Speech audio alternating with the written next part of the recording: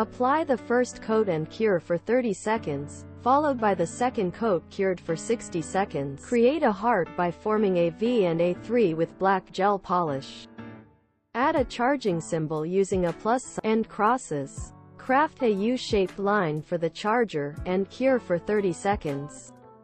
Elevate the heart with glitter gel polish, layering with the lightest pink, curing after each step for 30 seconds. Finish a matte top coat over the entire nail, cure for 30 seconds, and apply a shiny top coat inside the heart for a radiant finish. And it's done. Don't forget to like, share, and subscribe to my channel for more exciting nail art tutorials.